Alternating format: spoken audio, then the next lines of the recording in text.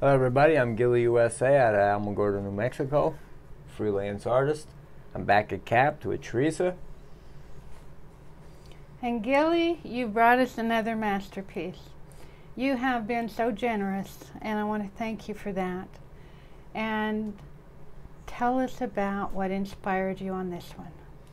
What inspired me on this one is that sometimes when when your mind wants to just go off into a, a, a deep place, you know, just a dark moment, this right here is going to snap you back from that moment. It'll let you go to that dark area you want to go to.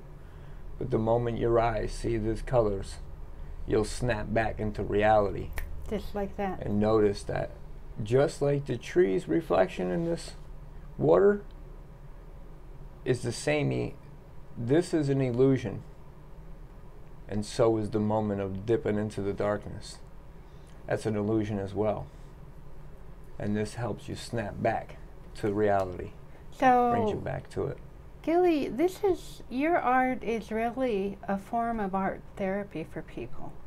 Yeah, a lot of people say that. I can believe it. I, I've seen many of your pieces now, and they all have a way of drawing a positive emotion. Mm-hmm.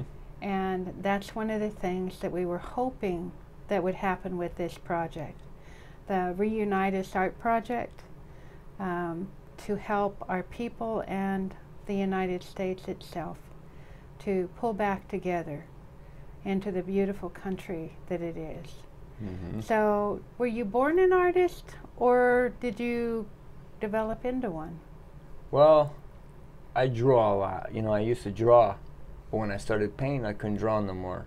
Like the time for drawing's over. I don't even, I can't even do too much with a pencil where I used to be able to do portraits, but now, once I touch the brush, the pencil just went away. It's like it's not even there anymore. It's and just this. I hope everyone is blessed enough one day to watch this man paint because he is truly an artist in more than one way. Gilly, I want to thank you so much for being a part of this project and helping us raise the money we need to create more programs and services on stress reduction. Well, I'm glad to be of service. Thank you. Bye now.